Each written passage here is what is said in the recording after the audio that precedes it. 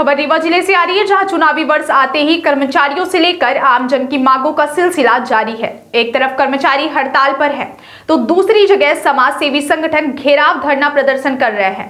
ताज़ा मामला कलेक्ट्रेट पहुँचे हुजूर तहसील के मनकहरी के ग्रामीणों का है, जहाँ कलेक्ट्रेट कार्यालय पहुंचकर लोगों ने ज्ञापन सौंपकर स्थायी पट्टे की मांग की है।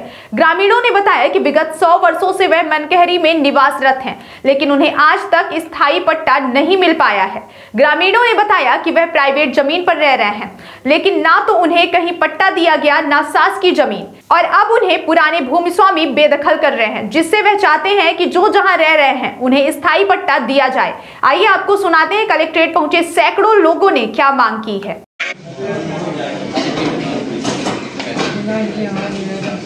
हमारे रफ्तार होती है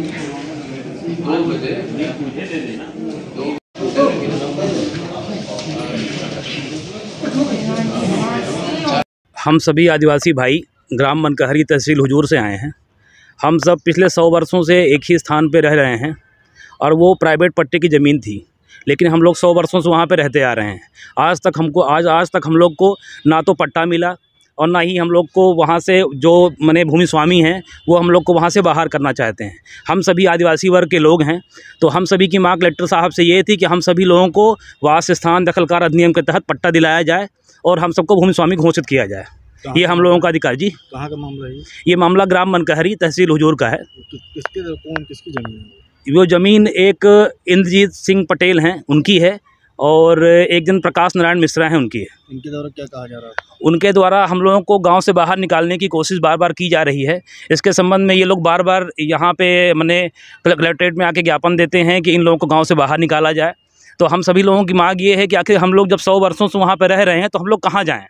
आखिर शासन प्रशासन हमारे लिए कोई व्यवस्था करे? अगर हम लोग को गाँव से बाहर निकालना है तो शासन प्रशासन हम लोग के रहने की व्यवस्था करे। हम लोग गाँव से बाहर जाने को तैयार हैं। परिवार हैं? वहाँ पे लगभग साठ परिवारों ने आवेदन दिया है। और लगभग साढ़े चार सौ लोग वहाँ पे रहते हैं। जी अभी मुलाकात हुई है कलेक्टर साहब अभी कलेक्टर साहब से मुलाकात नहीं हुई है। डिप्टी कलेक्टर साहब बैठे हुए थे और अपने शायद तहसीलदार महोदय बैठे हुए थे। उन लोगों से मुलाकात हुई है। उन्होंने जी? क्या नाम है मेरा नाम मुकेश मिश्रा है। इस मांग को लेकर कितने बार आप यहाँ पे ज्ञापन सौंप चुके हैं?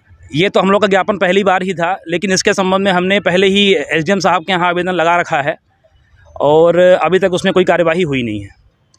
क्या नाम है जी मेरा नाम मुकेश मिश्रा